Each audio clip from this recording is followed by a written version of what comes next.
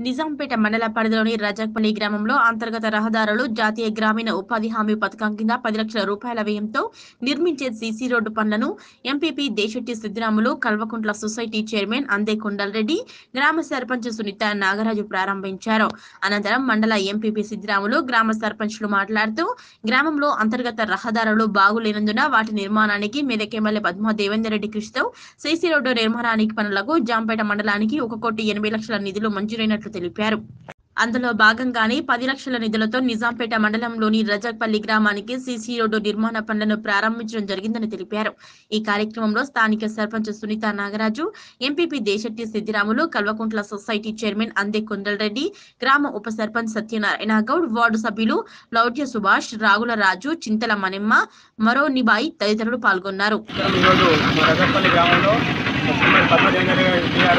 ఇద్దరం ఈరోజు మా రజపల్లి గ్రామంలో శ్రీమతి పద్మజేందర్ రెడ్డి గారు మాకు వచ్చినటువంటి పది లక్షల సీసీ రోడ్డు శంకుస్థాపన చేయడానికి వచ్చి ఈరోజు గౌరవ మన ఎంపీ గారు మరి బీఎస్సీ చైర్మన్ కొండరెడ్డి గారు మా రాజు గారు మా ఉప సర్పంచ్ ఆ, ఈరోజు శంకుస్థాపన చేయడం జరిగింది మా గ్రామానికి మా గ్రామానికి గుర్తించి పది లక్షల రూపాయలు ఇచ్చిన ఇచ్చిన లక్ష్మీ గారికి దానికి ఎనగల గుర్తించిన మన ఎంపీ ఇందిరా కొండరెడ్డి గారికి మరియు మా బీఎస్సీ చైర్మన్ కొండరెడ్డి గారికి మా ఎంపీ గారికి మా డిస్ట్రిక్ట్ గారికి అందరికీ పేరు పేరున ధన్యవాదాలు చెప్తున్నాను.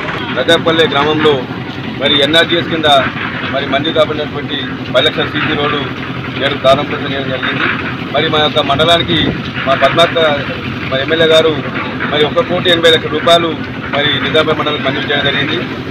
ఎందుకోసమంటే మరి ప్రభుత్వ లక్ష్యం ఒకటే మరి గ్రామాలు ఎప్పుడైతే అభివృద్ధి చెందాయో మరి అప్పుడే మరి అభివృద్ధి పథకం ఉన్న ఉద్దేశంతో మా యొక్క గౌరవ ఎమ్మెల్యే గారైనటువంటి పద్మక్క మరి ప్రత్యేకమైనటువంటి నిధులు తీసుకొచ్చి మరి గ్రామాల అభివృద్ధికి కృషి చేయడం జరిగింది.